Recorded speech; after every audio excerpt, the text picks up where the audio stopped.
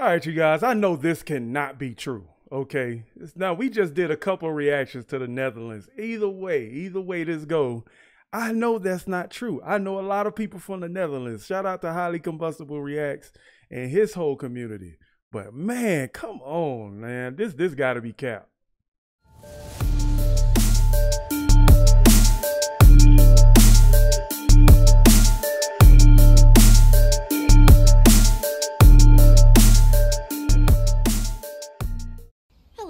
Hello, travelers. Today, I'm going to tell you about a country that I didn't like. Officially, it is named the Netherlands, but my experience was specifically in the Holland region in the city of Amsterdam. The country of Holland is full of attractive people. Many people would like to move there to find love because the Dutch are very good looking people. People claim that there are jobs there and that it's a hmm. very special country.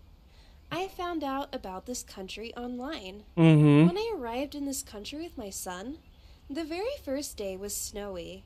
I stayed at Schiphol Airport for the first night because we landed late and security personnel mistreated us and were racist towards us. Most people spoke Dutch, which is a very hard language to learn. How hard? How hard on the scale of one to ten? Let me know in the comments. Some people also spoke English as a secondary language. Okay. English but it was is. English is almost like every country's second language now. Some people also spoke English as a secondary language, but it was broken English, therefore, it was very hard to communicate with them. I struggled as the airport was the first encounter I ever had with the Dutch. The next day, I went to my hotel, which, by the way, was very expensive. I did not find any cheap hotels to stay at. Wait a minute, wait- Amsterdam. Wait a second. You in Amsterdam, bro. Like I already got my critiques. You in the Amsterdam. Even I ain't never been there, but I seen it on TV. Of course it's gonna be expensive. You ain't gonna find nothing cheap. You better stay up, up under a waffle house or something. I spent too much money. After staying two months in Amsterdam, I suffered so much. I wanted to leave, and I ended up completely broke. It was freezing there.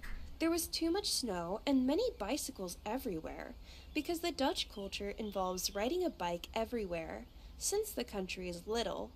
The Netherlands being a car free country, there are not many cars around. As I said earlier, Hey, can't the catch a Dutch Uber. Are very attractive people physically, but they are very cold and they will not socialize with you. They will never talk to you out of the blue. Instead, they just show you a fake smile. The fact that they constantly said, Hello, hello, annoyed me so much, and I didn't like it at all. That's how they communicate, so you move out of their way. Because they are commuting through the city using bicycles. There are also rail. I think that would be a good time. I'm sorry. So far, I don't really agree with anything she's talking about. But you know, everybody's experience is different. So, you know, I, you know, the people in the Netherlands, they let me know. railways for cable cars on the streets with the buses and cars and bikes, all of them using the same roads. I found it quite unorganized. It is a very small city, beautiful and old fashioned, but it is full of canals and rivers, which I didn't like. I already knew I that. suffered so much. I became depressed. How? Since I spent so much money. I never even found a job to sustain myself, and I've been ripped off by two Dutch employment agencies. Because they demand you meet so many requirements to work, and it's a very close Like what? Give us some you can't details. work or have access to basic services as a foreigner. If you are an American, I guess the same principles applies to any non-European I wish you would go into some details about what that is. You know what I'm saying? Like, what is that? you are an American, I guess the same principles applies to any non-European foreigner. You have zero possibilities of working in the Netherlands. I lived in Amsterdam, and after doing so for a time, there is nothing left for us. Let's also not forget that the Dutch are stingy and greedy. Hmm. In most That's cases, mu- they will not give you a handout if you're in need. Hmm. That's a pretty pretty uptight general generalization, but let's go. Greedy. In most cases, they will not give you a handout if you're in need. Honestly, the the the Dutch people that I know are some of the nicest people. Some people point I don't know what part of the Netherlands you were in or Amsterdam you was in, but mm. out the greatness of the welfare that citizens of the European Union can benefit from, but that was not so great because I've met many people from Europe who still had nothing while there, as they spent all their money in that country, and especially in the city of Amsterdam. They read on the internet that it is supposed to be the best country and that there are plenty of opportunities. But it's not true. Forget about going there if you don't have any money, because if you're unlucky and end up homeless, you can't even exist there. The police will arrest you and fine you if they see you sleeping on the streets. I met a girl from Germany, and she had a tough life in the Netherlands. She had trouble saving up money working at bars and hotels. Okay. Even with two jobs, she was not able to save enough money to survive. Now I know we did a video talking about the economy of uh, the Netherlands and stuff, and this is the first time I've seen like homelessness in the net in in Amsterdam, I guess, where she's talking about, or the Netherlands.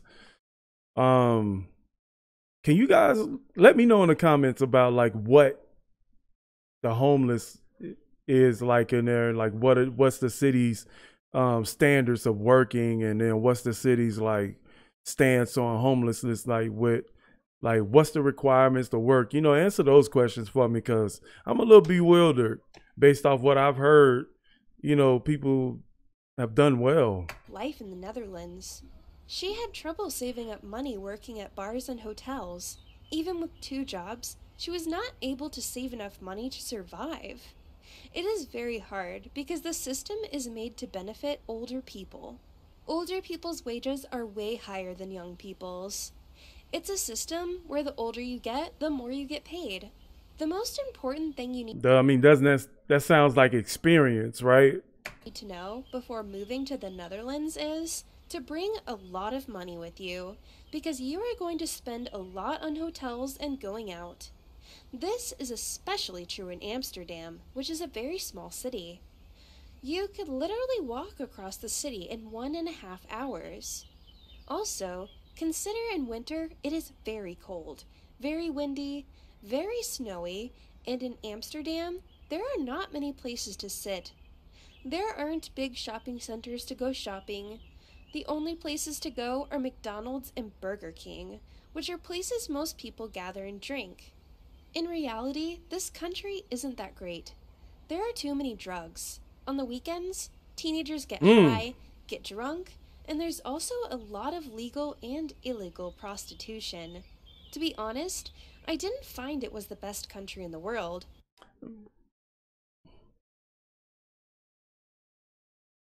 no this ain't it as the internet claims.